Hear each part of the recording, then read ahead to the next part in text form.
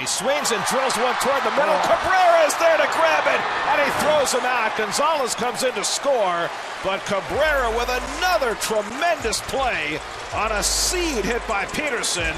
It's now a four to three game, but the Dodgers are down to their final out. I mean, pure wizardry. to Be able to make that play. That ball hit right on.